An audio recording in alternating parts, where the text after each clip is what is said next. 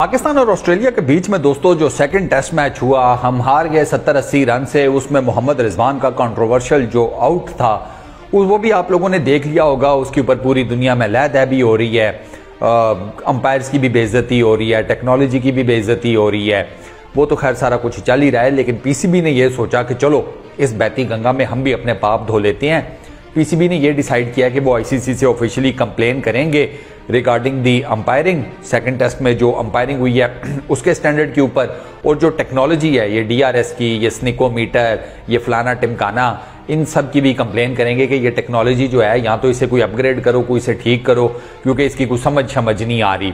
तो पीसीबी का अब फ़िलहाल ये मुद्दा है। पीसीबी ने मोहम्मद ये हफीज़ भाई हमारे जो हैं इंटरम कोच उनसे भी वो, उनका फीडबैक लिया है ईच एंड एवरीथिंग यानी कि पीसीबी ने ये सोचा कि भाई एक फुल फ्लैज किस्म का केस बना करना आईसीसी को प्रेजेंट किया जाए।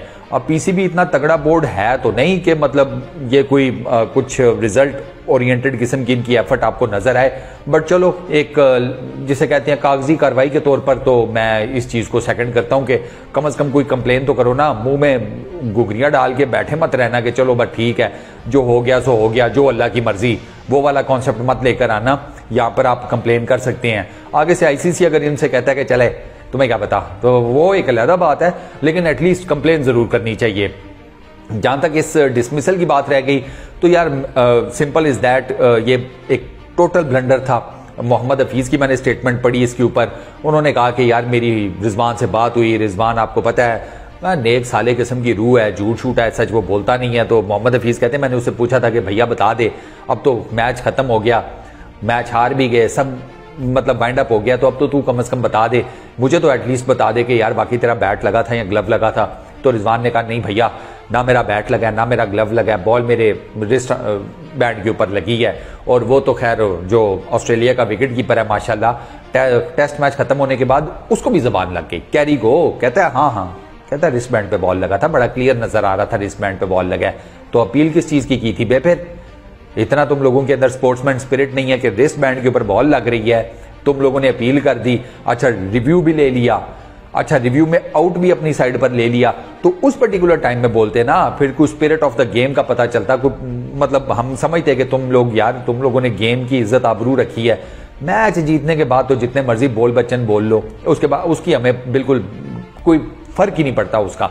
हमारे नज़दीक तुम कोई हाजी शाजी नहीं बने। अभी आकर स्टेटमेंट दे रहे हो। वो तो लैंगर ने भी 20 साल बाद मान लिया कि 99 में होबार्ट टेस्ट में मेरा एज जुआ था जब मैं 76 पर था। अब उसके इस जो कन्फेशन है, क्या करें उसका भाई? 99 की दर अभी आकर कोई 20 साल बाद उसने कहीं माना कि हाँ यार, वो मेरा एज जुआ था। तो भैया, अब उसका क्या करें? चाटे उसको। कवर में ले जाता चाचा, अब तू ये राज। अब उसका हम क्या करें? मैं, तूने 20 साल बाद ये मान लिया ना कि चलो मेरा एज हुआ था। मैं अभी मान लेता हूँ यार, तू भी दो नंबर है फिर भाई। बात खत्म करो। अजीब यार कसम खुदा की मुझे मुझे ना तप मुझे दुख तो है लेकिन मुझे गुस्सा ज़्यादा इस बात का है कि यार अच्छा खासा कुछ 67 रन की पार्टनरशिप चल रही थी। रिजवान सेटल्ड था क्रीज के ऊपर। सलमान बड़ा ज़बरदस्त खेल रहा था। पार्टनरशिप जो है वो बड़ी तगड़ी जा रही थी। उस पर्टिकुलर टाइम में पाकिस्तान मैच में वापस आ गया था। आ, मतलब पाकिस्तान थ्रू आउट इस मैच में अच्छा खेला है इसमें कोई शक नहीं है। लेकिन वो जो एक टाइम था ना जब ये दोनों बैटिंग कर रहे थे रिजवान और सलमान तो लग रहा था कि यार ये सम अदर पाकिस्तान को ना ले जाएँगे एमसीजी की तारीखी बिन की तरफ़। लेकिन वो फिर आपके सामने आई, ये रिजवान का जो कॉट बिहाइंड का सारा सीन हो गया। तो बस उसके बाद फिर आपके, हमारे मिडल जो नीचे का बैटर्स हैं, वो तो फिर ऐसे गेम, जिसे कहते हैं गे हैं, कि जैसे पता नहीं वहाँ लंगर लगा हुआ था कि भाई फटाफट पहुंचो वापस ड्रेसिंग रूम में। आए और गार्ड ही लिया, एक एक एक बॉल खेलिया, बस ठीक है, आए गार्ड लिया आउट हुए, चलो जी वापस, खाना खाने चले। तो यार इस तरह तो नहीं होता। तो खैर, अब जितना ब्लेम अंपायरिंग को किया जा सकता है टेक्नोलॉजी को किया जा सकता है, वो तो हम करेंगे। भाई, आपने क्यों रखा हुआ है ये जो हॉटस्पॉट है?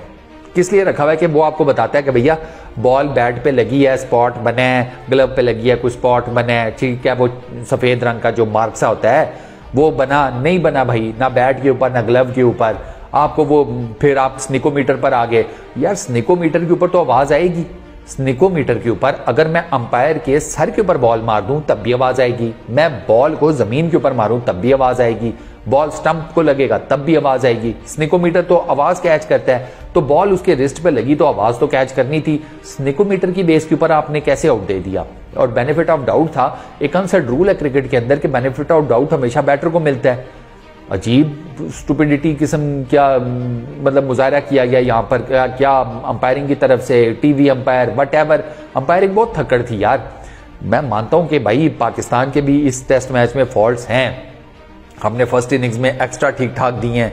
प्लस एक सारी चीज़ें छोड़ो सारी चीज़ें छोड़ो। एक कैच एक कैच अब्दुल्ला स्लिप में ले लेता मार्च का। आप देखें गेम किधर चली जाती। आसान सा वो कैच था। वो मेरा ख्याल है 20-25 के ऊपर होगा मार्च। उसने फिर अल्टीमेटली जाकर 96 के ऊपर ब्रेक लगाई। 96 के ऊपर भी उसका तो क्या ही ब्लाइंडर पकड़ लिया ना उसने, सलमान ने। वरना वो 96 भी क्रॉस कर जाता 100 क्रॉस कर जाता डेफिनेटली उसकी भी पूरी फैमिली अगर बैठी हुई थी कि सो देखेंगे। तो खैर चलो, सो तो नहीं देख सके उनकी फैमिली। बट खैर, वो यार, अब उसके ऊपर क्या बात करे किसी की फैमिली ये, वो सारा कुछ, हर कोई जारी बात है, चाहता है कि उनका जो बच्चा है, वो बेहतरीन परफॉर्म करे टेस्ट क्रिकेट में। तो मार्च ने अपने हिस्से की फिर गेम खेल ली, जारी बात है, आप मार्च जैसे प्लेयर का कैच ड्रॉप करोगे, वो तो वैसे ही कूटता रहता है तो उसने कहाँ से आपको छोड़ना था? तो यार, हमारी, मेरे नज़दीक हम, ये जो कैच एक छूटा ना ये सबसे बड़ा ब्लंडर था, वो हमने तकरीबन मैच छोड़ा है। और रही सही कसर, अच्छी खासी, मेरा ख्याल है मैच में कम बैक हो गया था, सारा कुछ ठीक जा रहा था। वो रही सही कसर, इस एक डिसीज़न ने जो मोहम्मद रिजवान का डिसीज़न है, उसने उसका बेड़ा गर्क कर दिया। तो पीसीबी को मेरे नज़दीक इसको तगड़ा किस्म का केस बनाकर पेश करें, उसको परसू करें आईसीसी के ऊपर प्रेशर डालें कि यार ये अंपायरिंग का जो स्टैंडर्ड है ना, ये कोई बेहतरीन होना चाहिए और अगर बनता है तो साफ़ कहो जी, हमें जानबूझ कर हराया गया है। ऐसी की तैसी। ये तो साफ़ केस बनता है, भैया, आपको जानबूझ कर हराया गया है। भाई, तिड़ जाओ, डट जाओ, इसमें ऐसा क्या है? आईसीसी कौन सा तुमसे पैसे लेगा? हाँ आईसीसी ने ना तुम्हें पैसे देने हैं, ना तुमसे पैसे लेने हैं। तो भाई, टिक जाओ, डाट जाओ, देखा जाएगा। लेट्स सी अब आईसीसी इसके ऊपर क्या वर्डिक्ट लेता है? पीसीबी इस केस को किस तरीके से फॉलो करता है? इसके ऊपर कोई मजीद अपडेट आई तो वो भी आपके सामने दोस्तों ज़रूर शेयर करूँगा। फ़िलहाल इस वीडियो में इतना ही। अपना बहुत ख्याल रखिएगा। नेक्स्ट वीडियो में मुलाकात होगी। Peace out